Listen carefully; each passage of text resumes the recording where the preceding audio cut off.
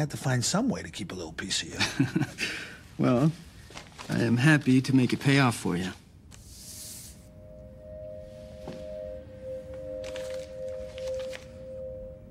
Hundred and two million. You're cashing me out? John. John. I tried. I really did. I gave you every chance.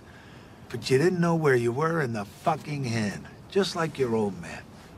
Because a part of the story I didn't tell you is your father may have talked shit about me and the way I went about earning. But he bit off plenty of big chunks from my sheet when it came bonus time. And yeah, sure. While he was a killer gin player at five cents a point, when the partners upped the stakes to a dollar, they mopped the fucking floor with him because he was a piker who couldn't handle the pressure when the stakes were high. And you are a chip off the old fucking block You might want to check your messages.